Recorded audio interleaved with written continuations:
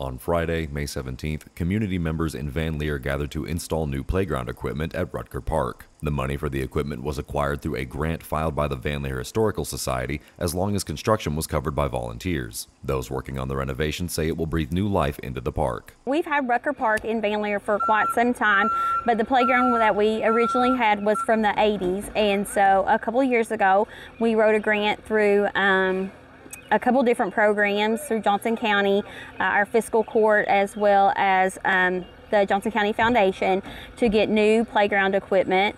Um, and part of the grant was that we the funds would provide the equipment, but that we would have to provide the help to put it together. So we, uh, as you can see out here today, we've had tons of community members, uh, a lot of them from Van Lear, but also from our.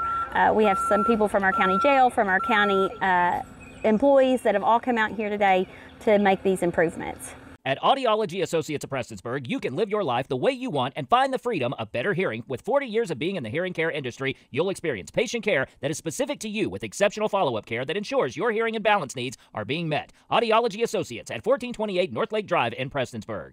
Volunteers was made, there was no shortage of people wanting to help. Once the work is done, there will be a community picnic to celebrate. When we put out uh, information on our Van Lear Historical Society Facebook page, uh, we had a lot of interest in what improvements we were going to make and how people could volunteer to help us. Um, and then after we finish all of our improvements, we're going to have a great uh, community picnic that will be free and what, everyone in our community will be welcome just to kind of see the improvements. We'll feed free lunch, uh, maybe give a few pickleball lessons for those people who aren't familiar with the sport. Uh, it will be the first pickleball court in Johnson County, um, and we know that sport's really picking up, so we're really excited about that. Reporting for Mountaintop News, I'm Nick Collum.